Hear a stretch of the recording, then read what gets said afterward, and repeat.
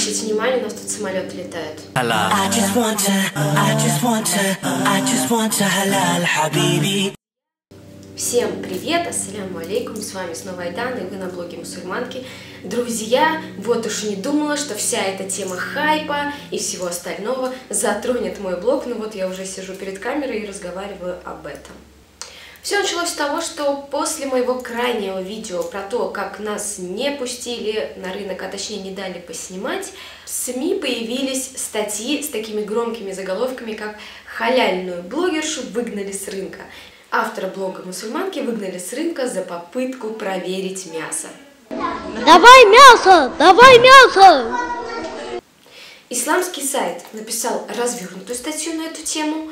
Лента Ружа написала короткую информационную заметку, лишенную всяких подробностей, и именно эта информационная заметка вызвала шквал, просто бурю негодования. Вообще, на мой скромный взгляд, мне кажется, что любая новость, если она содержит в себе термин «мусульманин», если там говорится о мусульмане, это автоматически становится предметом насмешек, это автоматически вызывает какую-то агрессию, просто начинается чесотка у тех людей, которые так и хотят написать что-нибудь гадкое по поводу мусульман. По крайней мере, это не первый раз, когда обо мне пишут статью, и не первый раз, когда я сталкиваюсь с агрессией, откровенной агрессией в комментариях. В общем, после этой заметки в чем меня только не обвинили. Чего стоит этот знаменитый комментарий о том, что пусть валит свой Чуркистан и там проверяет. У меня такое ощущение, что что бы я ни сделала, каким бы благим не было мое намерение, все равно это вызовет агрессию, злость, и все равно это будет осуждено. Многие писали, вот опять эти мусульмане своими правилами, и здесь вам не арабская страна, и мне хочется все-таки подчеркнуть, что в России ислам занимает далеко не последнее место. Эту религию исповедуют 20 миллионов граждан нашей страны. Говоря «нашей», я имею в виду Россию, поскольку я сама гражданка Российской Федерации. В некоторых регионах мусульмане составляют большинство, в некоторых их не так уж и мало. Поэтому всякие крики а-ля «вали в свою исламскую страну» это не что иное, как проявление исламофобии к таким же гражданам Российской Федерации, как и вы сами. Я сейчас обращаюсь к тем, кто так пишет.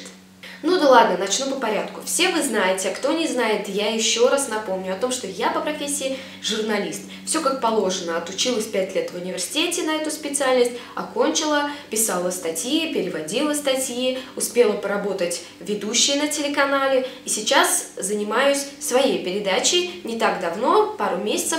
Она называется «По вкусу по карману», если вдруг кто не помнит или не знает. Это информационно-развлекательная передача, в которой я отвечаю на вопросы, интересующие мусульман. И на рынок, друзья, я отправилась не как блогер, я туда отправилась как журналист, снимающий свою передачу. Хотя, конечно, сейчас понятие блогер-журналист хотят приравнять, но как обладатель этих двух званий, я могу сказать, что не каждый журналист является блогером, и не каждый блогер является журналистом. В общем, по сценарию мы со съемочной группой должны были отправиться на рынок, в гипермаркет и специализированный магазин. И именно с рынком у нас возникли проблемы, и именно от рынка я этих проблем не ожидала, поскольку это общественное место. До сих пор мы снимали и в торговых комплексах, и в ателье, и в кафе, и на улицах нашего города. И с рынком я никак не ожидала, что возникнут такие сложности. Тем более, что по плану это не заняло бы больше 10 минут. В комментариях многие упрекали о том, что с какой-то стати ты не обнаглела или почему это продавцы должны знать ваши законы? Друзья, все-таки, я не знаю, мне кажется, что услышал звон, не знаешь, где он. Продажа халял э, продукции – это в основном дело семейное, я успела это заметить. Одни привозят товар э, с разных деревень, а другие, возможно, их родственники, знакомые, друзья, его реализуют здесь. И зачастую это все либо одни и те же люди, либо братья и сестры, то есть это мусульмане. И кто, как не они, должны знать ответ на этот вопрос? Тем более, что я сама частый покупатель в этом заведении, поэтому я была почти уверена, что они ответят на этот вопрос. И, кстати, не ошиблась. Некоторые не знают про халял мясо, а, как оно режется. Поэтому режется бисмилля. Сама знаю, если так слушать. Да. Аллах Акбар. режешь. Встречались вам люди, которые обманывают, вот говорят, что мясо халял, а на самом деле не халял? Бывает такое? Наверное, бывает, но у нас так не бывает. Чем отличается халял мясо от не халял?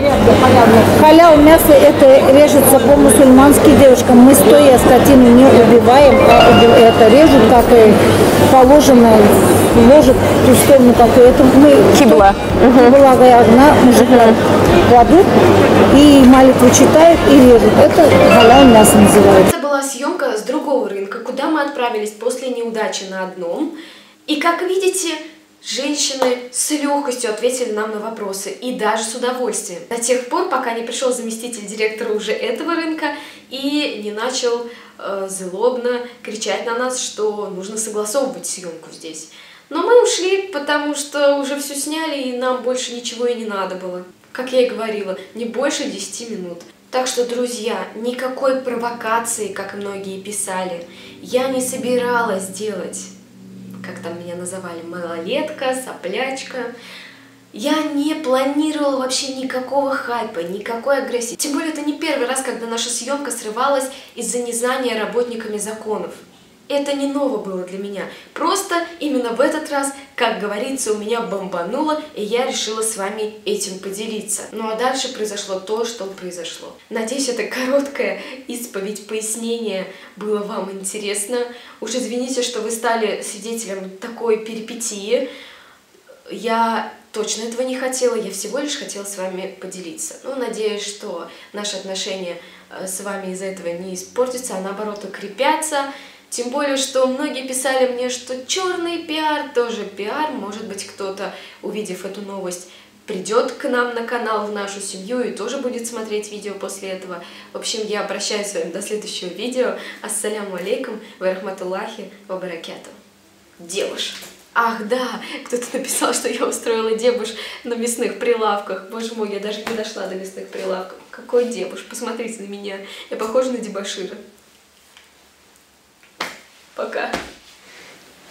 I just want to, I just want to, I just want to halal habibi.